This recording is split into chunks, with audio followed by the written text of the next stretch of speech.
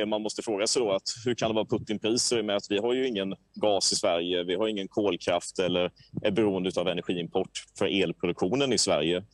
Men då är frågan så här, hur har det blivit det? Jo, det är ju genom att Socialdemokraterna har lagt ned mm. elproduktion i Sverige. Då har vi blivit beroende av Putin så att det är ju i allra högsta grad sossepriser det handlar om där man har bedrivit en energipolitisk utveckling som har lett till att vi har blivit mer beroende av Ryssland och den eh, energiförsörjning som man står för gentemot Europa och att det är den som på marginalen nu sätter priset på el även i Sverige.